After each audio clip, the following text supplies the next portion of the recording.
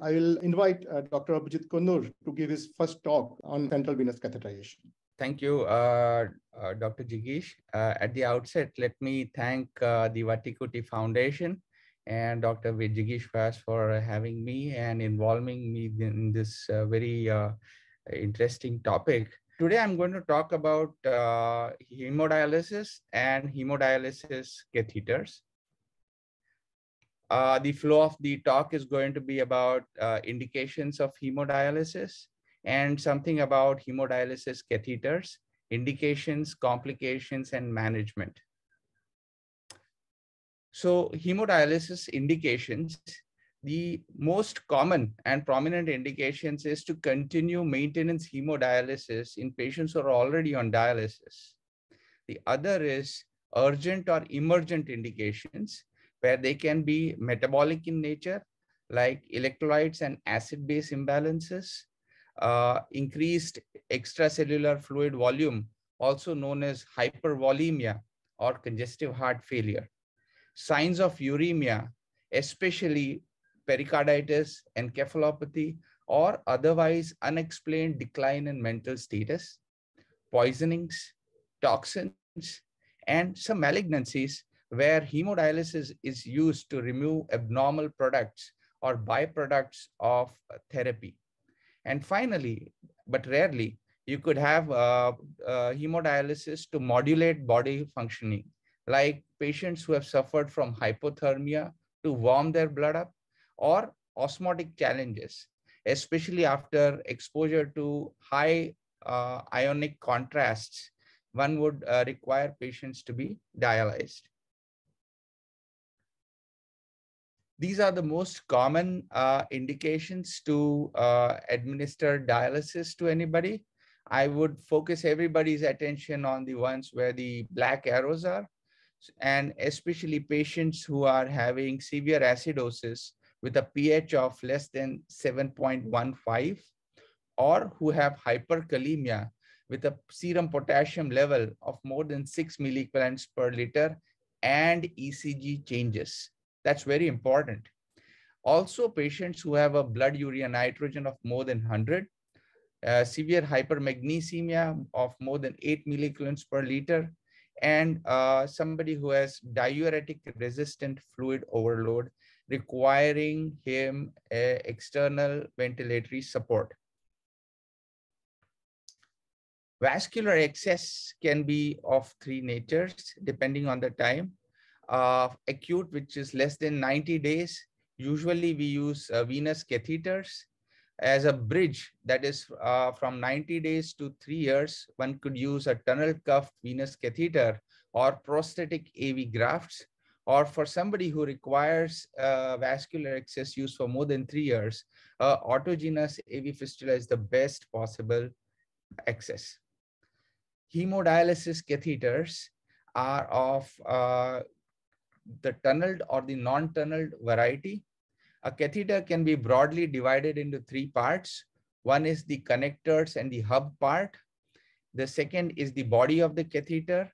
And finally, there is the catheter tip, which lies inside the vessel. So uh, depending on the material, length, lumen size, lumen configuration, inlet and outlet holes, and connector extensions, various type of catheters are available in the market.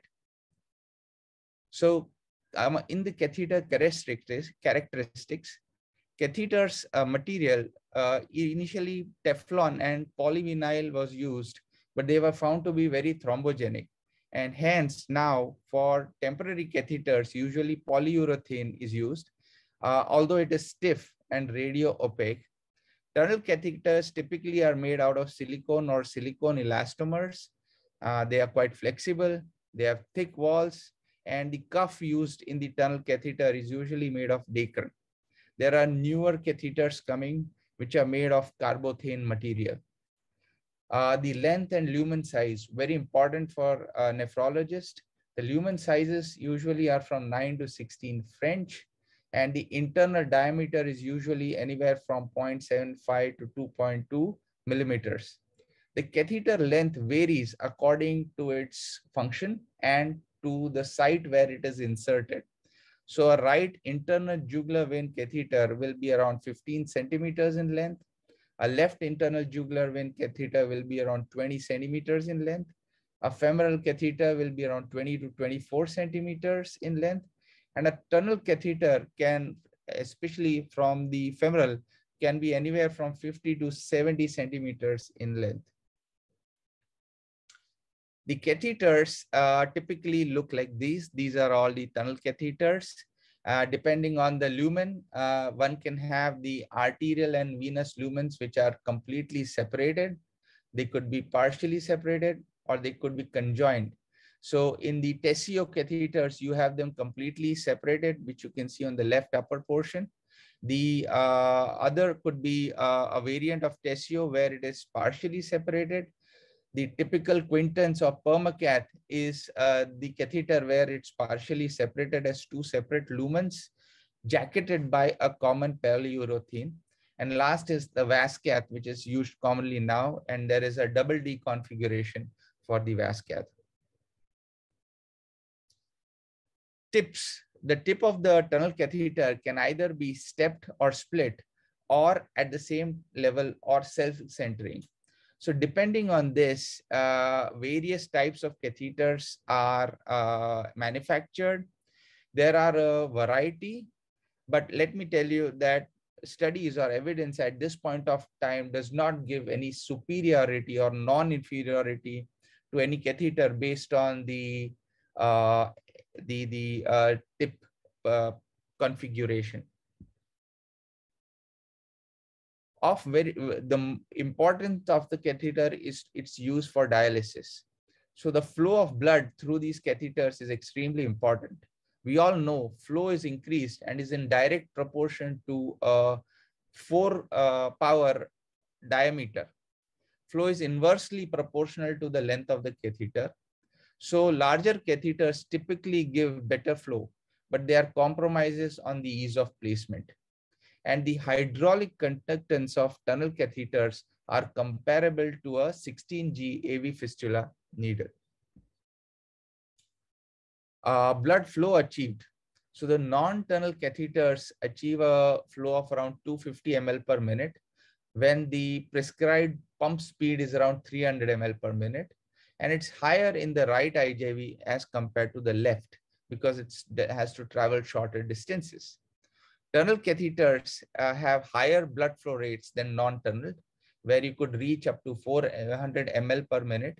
And uh, the important thing is the tip of the tunnel catheter has to be in the right atrium, and it's usually wider in lumen. The off note, actual blood flow rates in catheters are always lower than the prescribed pump flow rates purely because of tubing uh, deformation due to elevated negative pressures in the catheters. Compared to AV fistulas, uh, they require an increase in treatment time of approximately 20% to achieve similar clearance. Hence, AV fistulas are very efficient in dialysis delivery in shorter duration of time. Preferred site of placement, the right internal jugular vein is the preferred site one can also use the left internal jugular vein, although when one gets left uh, blood flows and there are chances of catheter malfunction. Uh, we usually avoid subclavians uh, because this can lead to high incidences of central vein stenosis. The tip position typically for non-tunnel catheters is in the superior vena cava and for the tunnel catheter, it is in the right atrium. For the femoral catheter, the tip is usually placed in the internal jugular vein. The shelf life or the use life for this catheter uh, varies by depending on the site of insertion, catheter type, and catheter material. But typically, the right internal jugulars are used anywhere from two to three weeks. The femoral catheter can be a single use, or it can uh, range anywhere from uh, zero to seven days for patients who are bedbound. And tunnel catheters can be used from six months and longer, depending on the site and the center specific characteristics. Now coming to the important topic of complications uh, related to catheters. So complications can be divided into immediate and late, and they may typically be because of catheters or related to the patient. Amongst the catheter-related complication, it can be due to mechanical causes or functional causes. Uh, mechanical causes typically because of uh, kinks, structural damage to the catheters, any position errors at the placement of the tip, or uh, the curvature uh, that the catheter needs to attain, luminal thrombosis or presence of stenosis. And functional complications where everybody, you know, tries to scratch their head saying, hmm, this looks good, but it's still not working and usually takes a long time to fix. Uh, the complication can be uh, patient related. Uh, worse things happening, arrhythmias and cardiac arrest, especially when one uses guide wires or when the catheter touches the uh, hard surface. It can cause uh, pneumothorax and pneumothorax where introducer needles actually uh, are not supposed to go where they do. Bleeding, hematomas, arterial punctures, air embolism, uh, presence of hemomediastinum, and injury to the phrenic or recurrent laryngeal nerve. Uh, rarely, and the worst case scenario, cardiac perforations have been seen in some patients. Best way to do it is to do it under ultrasound guidance, as one can see in this cartoon where the carotid is placed quite close to the right and left internal jugular and the vein kind of dances around the carotids. So makes sense in locating the vein appropriately using a uh, sonology guidance. Long-term complications, non-infectious, vessel stenosis is not uncommon in non-tunnel catheters. And this occurs because of vessel wall injury and stenosis uh, because of prolonged tunnel cuffed catheter use, especially if the catheter tip is in the superior vena cava or at the junction of the two veins. Uh, subclavian catheters are at exceedingly high risk and nephrologists usually frown when they see anything in the subclavians, then be it uh, hemodialysis catheters or PICC lines or even sometimes ports. Catheter dysfunction is classified as early or late. Early catheter dysfunction may be related to uh, insertion technique, where there is presence of sharp curves, the tip being in the superior vena cava, or the tip is stuck to the opposite venous wall, leading to flow issues. And late causes may be dysfunction and is usually related to catheter thrombosis. Uh, the catheter, catheter thrombosis can be of two types. It can be extrinsic or intrinsic, meaning whether the problem is inside the catheter or it lies outside. Inside the catheter, typically one can have venous thrombosis, mural thrombosis, or arterial thrombosis, meaning the thrombus is present in the catheter. The catheter gets encased in a thrombus in the vein, or it has a big, large arterial thrombus hanging at one end of the catheter. Uh, ex, uh, the intrinsic uh, causes are intraluminal catheter tip or, and presence of fibrin sheath, which I will come to very shortly. So extrinsic thrombus is presence of uh, the catheter in vein makes vein predisposed to thrombogenesis. And the incidence is anywhere from 2 to 63% in different studies. Back pressure changes can occur in the territory of the vein and uh, this can be uh, require systematic uh, systemical anticoagulation. Mural thrombosis are typically attached to the wall of the vessel, and similar thrombus in the uh, atrium can be large and sometimes life-threatening when it gets dislodged from the catheter and uh, can cause uh, pulmonary embolism. Intraluminal thrombus develops after failure of proper catheter flushing or if the blood remains in the catheter, there is presence of air bubble in the catheter, or if the heparin use uh, is inadequate. Catheter should be flushed with 5000 units per ml of heparin up to the capacity of the catheter uh, and should not contain any air bubbles. They should be clamped immediately and the caps should be placed. Uh, uh, uh, presence of thrombus actually forces us to use urokinase, Cathflo, uh, and thrombolysis, where you have to use around 5,000 units per ml of urokinase to be flushed in both limbs up to the capacity and left there for around 30 minutes and then aspirated. If doesn't work, then again dwell for 30 more minutes uh, flush the catheter with similar volumes and then advance the solution by 0.2 ml saline every five minutes. So it's basically a push and pull. And uh, infusion of alteplase can be used uh, for one milligram per hour per lumen for two to four hours if the urokinase Cathflo doesn't work. In case of tip thrombosis, heparin may not be retained in the arterial ports where it leaks out and causes tip thrombosis. It can be occlusive in nature or can be ball valve in type. Uh, usually it requires a forceful flushing, although I have had cases where dislodging of the tip catheter has gone and uh, got stuck in the pulmonary artery, causing a lot of heartburn to the patient and to the nephrologist. So I would avoid this. And urokinase locks uh, may help where they, uh, you know, kind of uh, break down the uh, clot itself. Now, fibrin sheath uh, starts at the point of entry of the catheter in the vein and may extend up to the tip and it's loosely attached to the catheter. Of note, 100% catheters develop fibrin sheath, but most of them are not problematic. The start of the fibrin sheath can start anywhere at 48 hours. The sheath at the tip is usually disrupted by inflowing blood or saline, but sometimes it can form uh, a ball valve or a flap-like mechanism where the return is easy, but the suction out of the catheter becomes difficult. Unfortunately, because it's a mechanical problem, urokinase uh, locking doesn't solve the problem. People have used it over time at increased doses, but doesn't work many times.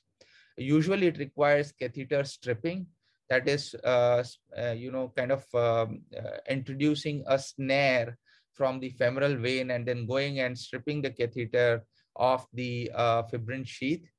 Uh, it may also entail changing the catheter over guide wire, which is probably the easiest thing to do. Um, sometimes one, you know, takes the catheter out, does a angiographic balloon disruption of the fibrin sheath, and then reintroduces the catheter over a guide wire. Uh, but there is no prophylactic regimen which may avoid this problem. Uh, this cartoon actually tells us one of the most important complications of catheter is catheter related uh, bloodstream infections, which are, all of us dread. On the left upper side, we can see that there is presence of a biofilm, which is required for uh, the presence of a CRBSI. And on this biofilm is where the bugs come in and uh, they start camping there, colonize, and finally become infective and may also metastasize from this area. Um, uh, the entry points for the CRBSIs are typically can uh, be uh, through the catheter, which is seen in the right lower cartoon.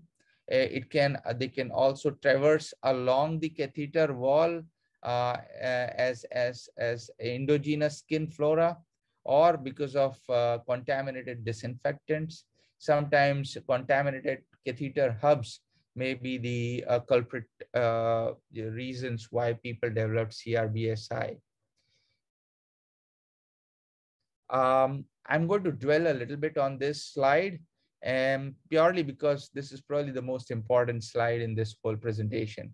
How do you uh, diagnose a CRBSIs and what is the appropriate therapy? So clinical features, uh, two out of three uh, should be present fever which is more than 38 degrees centigrade before dialysis or uh, more than 37.7 degrees centigrade during dialysis. We all know uh, dialysis warms up the blood a bit. At the same time, patients have uh, clinical features of chills, rigors, presence of hypotension, or there is some alternative uh, unexplained malaise or uh, absent alternative site of infections, but patients are febrile. Uh, we uh, the diagnosis of CRBSI is uh, made by microbiology. So at least one blood culture positive from a peripheral source, either the dialysis catheter or vein, and there's no other apparent source with the quantitative uh, presence of at least uh, 15 uh, colony forming units per catheter segment hub or tip or a quantitative of 10 raised to 2 colony forming units per catheter segment tip or hub uh, presence of organism of the same species isolated from the catheter segment or a peripheral smear nearly you know nails the diagnosis of CRBSI of uh, supportive uh, uh, uh, availability would be you know quantification and showing that there is more than three to one ratio uh, of uh, the organism at the catheter tip to getting it in the peripheral blood. And also its persistence uh, that is uh, two blood cultures uh, separated by two hours. All this you know kind of nearly nailed a diagnosis of crbsi there are three main types of catheter related infections uh, typically exit infections uh, tunnel infections and uh, bloodstream infections that is bacteremia or uh, uh, soft tissue infections because of metastasis from this. Now, prevention is better than cure. We all know this. So methods to prevent CRBSI, extraluminal strategies would be to take appropriate hub care, meaning, you know, wash the hub with chlorhexidine, uh, exit site care, wash it with normal saline or T-bact or some antibiotic ointment, skin care, making sure that there's no uh, infected uh, lesions or folliculitis around the insertion site or exit site, connection, follow disconnection protocols in the dialysis unit, intraluminal strategies, uh, using antibiotic locks, antimicrobial locks, uh, using connectors. Uh, most important is a multidisciplinary team approach and the presence of a dedicated vascular access nurse or coordinator goes a long, long way in prevention of CRBSI. A very busy uh, slide. Actually, this is the holy grail of treatment of CRBSI. I basically want to draw everybody's attention to three stages. One is nailing the diagnosis, which we actually uh, discussed in the previous slide, getting positive blood cultures.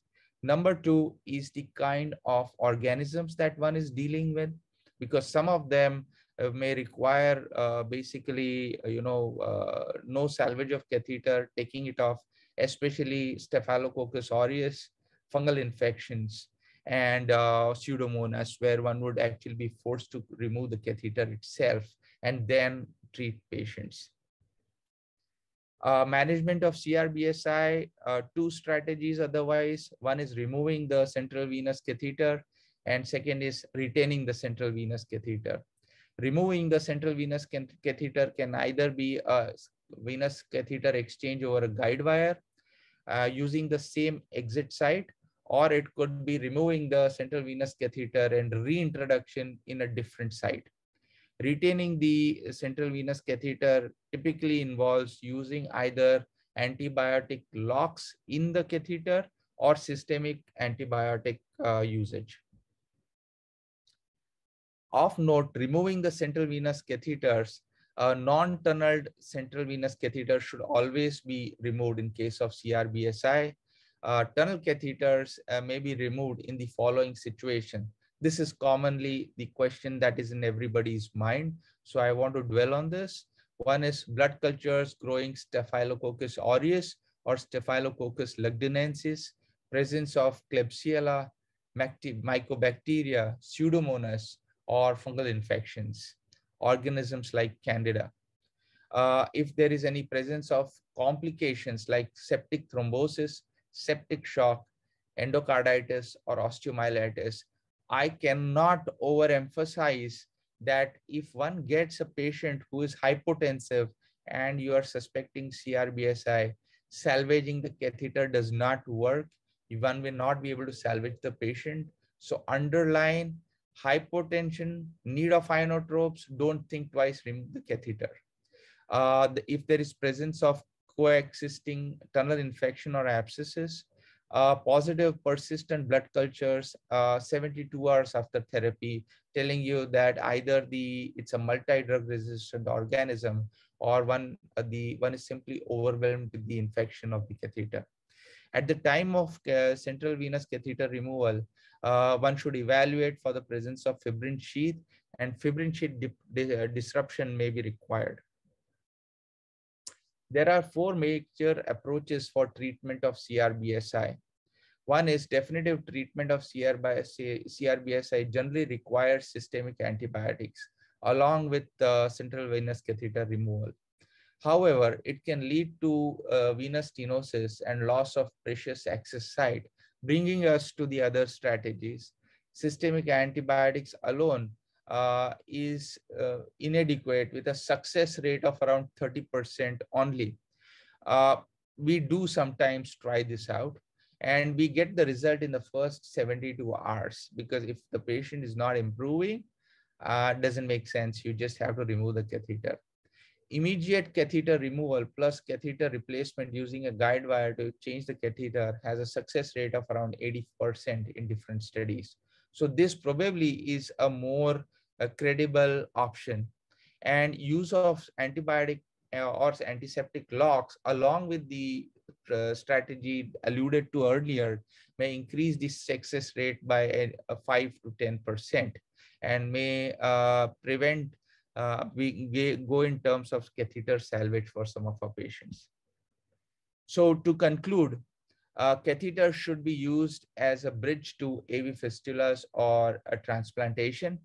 Fistula first initiative for patients with chronic kidney disease is the way to go ahead. Adequate and timely dialysis saves life. So referring nephrology services early can't be overemphasized. Uh, thank you all for a patient uh, listening. And I hand this over to Dr. Jigish Vyas to uh, conduct the um, series again. Thank you once again. Uh, thank you, Dr. Konnur, for your lucid talk. Uh, you pointed out the very pertinent uh, points. Uh, my question for you is uh, your uh, guidelines and your way of management differs in pediatric patients. Like if they come with acute kidney injury, pediatric patients, you do anything different from what you do for adults? That's a good question. So broadly, the access can be a difficult uh, situation for pediatric uh, services. Uh, most important is whether the material is available and the manpower is available to deal with them. Many of our rural hospitals or the semi-urban uh, hospitals may not be able to match up to this. Uh, we are a quaternary care center. So usually what we do is we treat them just the way we do with adults uh, but only thing is the material required is different the size of the catheters, we have them ready. So that goes a long way. Another uh, strategy is to use peritoneal dialysis in some of the pediatric patients, where uh, for them, probably a long-term access could be a pediatric PD catheter as compared to a hemodialysis catheter. One has to take into account that school uh, schools are important. One doesn't want to interfere with their quality of life. So, uh, you know, as a bridge to transplant, probably a PD may also be an equally uh, efficacious method to uh, deliver dialysis.